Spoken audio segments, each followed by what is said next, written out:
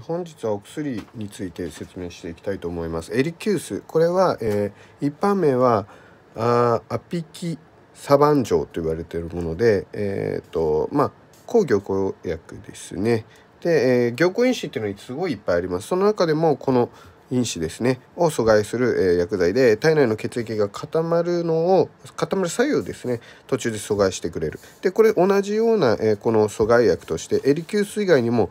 イグザレルトとかリクシアナというものがあります。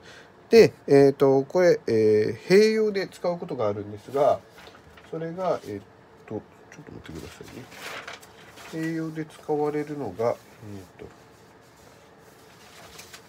バイアスピリンとかですねこっちに書いてありますねと併用で使われることがあるみたいなんですね。でバイアスピリンって何かっていうとこっちに書いてありますね。えっ、ー、と要はまこういった、え、阻害によって、えー、まあ、主成分はアスピリンなんですがこの COX1 の阻害によって、えトロンボキサン A2、えこれ調べてみたんだけど血小板の凝集とかあとは血管壁の収縮を引き起こす物質のことをトロンボキサン A2 なんですね。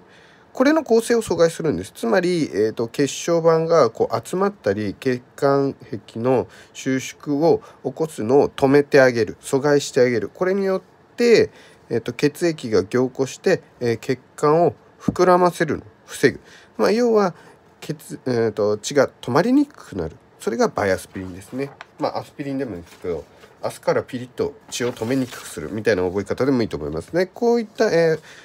えー、薬とあとはこういったエリキュースの併用のことをですねまあその二剤併用療法といって DAPT ですね。ダブル、えー、 antiplatelet therapy って言われるものがあるんですがこれは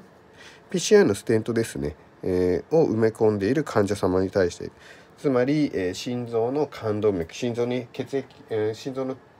えー、心臓自体に血液を送る冠動脈というのがあるんですね。栄養を送る。そこに詰まったら狭心症になっちゃうんでそれを、えー、ステントとかを、ねえー、まあ網目状のものを入れてねえー、パルンで膨らましてからその後網目状の、ね、ステントと言われるものを入れる、えー